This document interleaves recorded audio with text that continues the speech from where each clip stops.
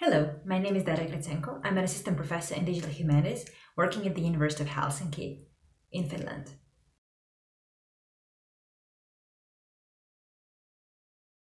When the Berlin Wall fell on the 9th of November 1989, I was in Leningrad, USSR, today known as St. Petersburg in Russia, with my mom, preparing for my third birthday.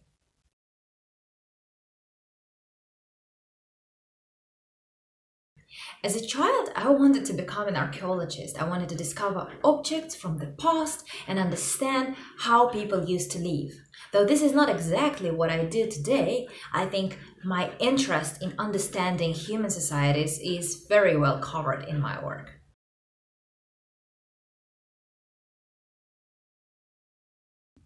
My research breaks a wall to sustainable infosphere. On this picture, you can see people in a digital detox camp. They went to the woods, they restrained from using any digital devices, and they tried to improve their well being. When I first heard about the concept of digital detox camp, it reminded me of my own childhood. My parents always used to bring me to the countryside to get some fresh air and stay away from the polluted city of Leningrad where we used to live. Though getting some fresh countryside air is definitely a great idea for an individual, it can hardly solve the problem of environmental pollution in big industrial cities. I guess you can see my parallel here. The digital environment we live in is polluted. It can cause harm to people.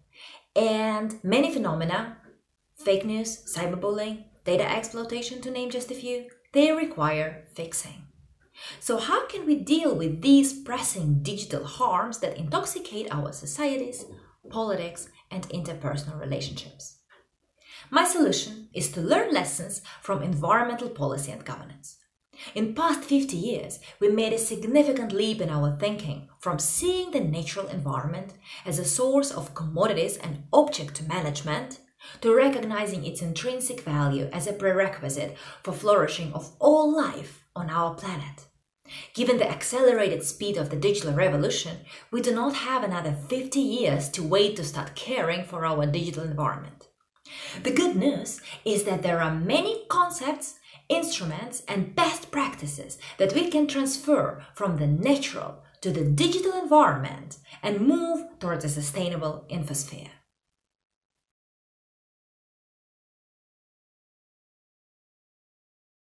The principal innovation of my research is to suggest a holistic infosphere protection program.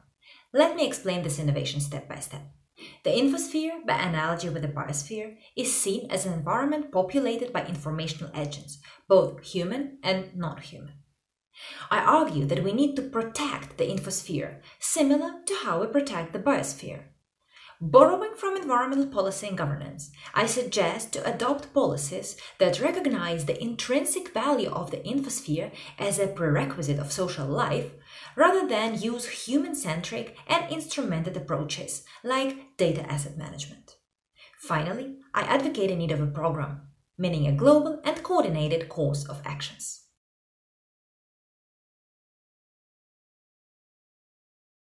The holistic infosphere protection program that I'm proposing will be a tangible instrument to ensure peace, democracy, and well being of human society amidst the rapidly developing information and communication technologies.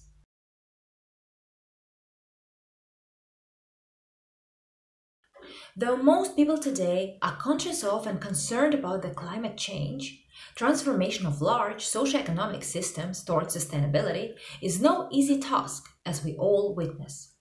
I reckon we will face similar challenges with global infosphere protection.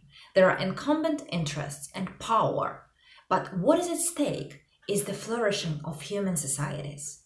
So the question that keeps me laying awake at night is how? How can we make this infosphere protection program globally effective?